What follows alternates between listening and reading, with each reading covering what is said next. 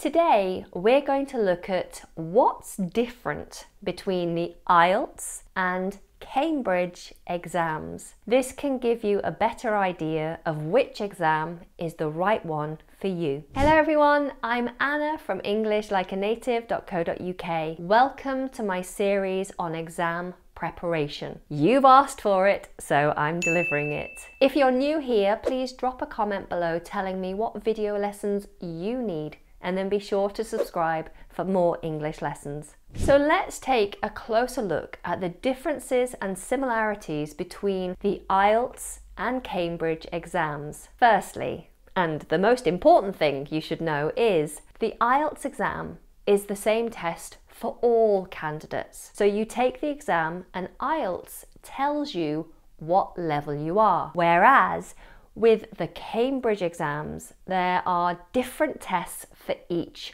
level. These levels go from A2 key to C2 proficiency. So you need to know which level you are before you start to prepare for the exam. Secondly, the IELTS exam expires after two years, so you may need to take the IELTS exam more than once in your life. If you need it for university entry and then a few years later for a visa requirement, for example. The Cambridge exams don't expire so they are valid for life. Thirdly, there are two versions of the IELTS exam, general training and academic training. The speaking and listening papers are the same for all candidates, but the writing and reading papers are different for the general and academic versions. The general version concentrates on more everyday types of contexts and text types, and the academic one is, well, more academic.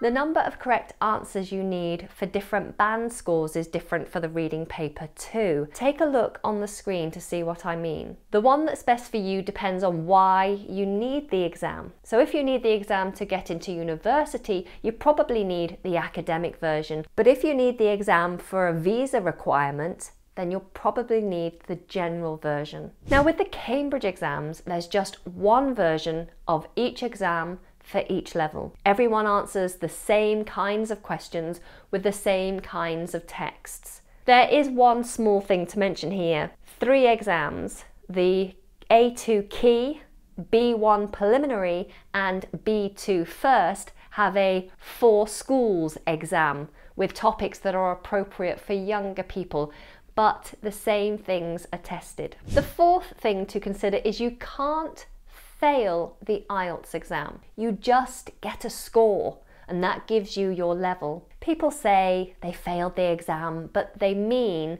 they didn't get the score they needed. You can fail the Cambridge exams. On the bright side, if you get a grade A, then you get a higher level on your certificate. So if you take the B2 first exam and get more than 180 points, your certificate will say that your level is C1. And this is true for all the exams from A2 Key to C1 Advanced. The fifth point I want to mention is on the IELTS exam, there is no specific part that tests your grammar, but your grammar is tested. There's just no dedicated section. So if in the listening paper you write a word in the plural, like informations, but the answer should be the uncountable information, then it's marked as wrong. You don't get any points for knowing the answer if the grammar doesn't fit the space provided. However, on the Cambridge exam, there is a specific part that tests your knowledge of grammar and vocabulary. On the B2 first, C1 Advanced and C2 Proficiency, there is a section at the end of the reading paper called Use of English. This has exercises designed to test very specific language like verb tenses, collocations, idioms and verb patterns, to name just a few. Now there are four papers on the IELTS exam, listening, reading, writing and speaking. You take them in that order on the test day.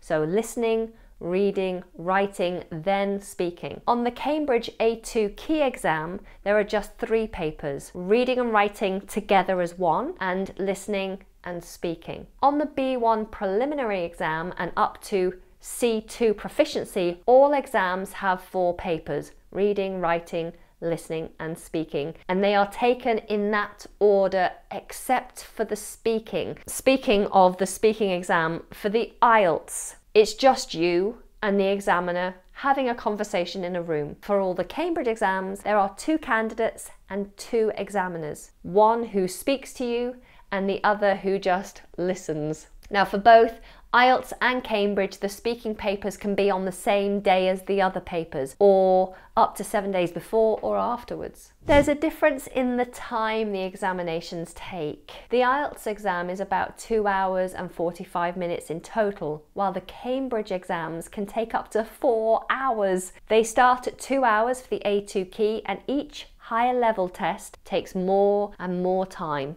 And that's a brief outline of the main differences and similarities between the IELTS and Cambridge exams. If you want to know more about test questions in more detail, then look out for more videos in this examination series. I'll leave the useful links in the description below. Remember, when trying to decide which test is best for you, you should think about why you need an official English qualification. If you need the exam to go to a specific university, then check what exams your university accepts. Similarly, if your employer has asked you to take an official exam, then check with them what they will accept. Now, if you're happy to stick with me for a little longer, then why not look at my video 10 common grammar mistakes so that you'll know what not to do, whichever exam you decide to take. Until next time, take care and goodbye.